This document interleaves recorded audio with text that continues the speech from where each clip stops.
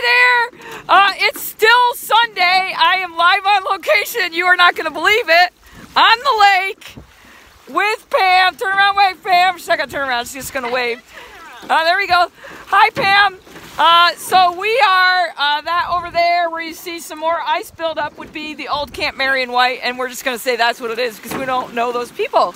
But if I'm going to stop talking and see if you can hear we're, we're on uh, Richmond Pond's version of the uh, iceberg and the Titanic.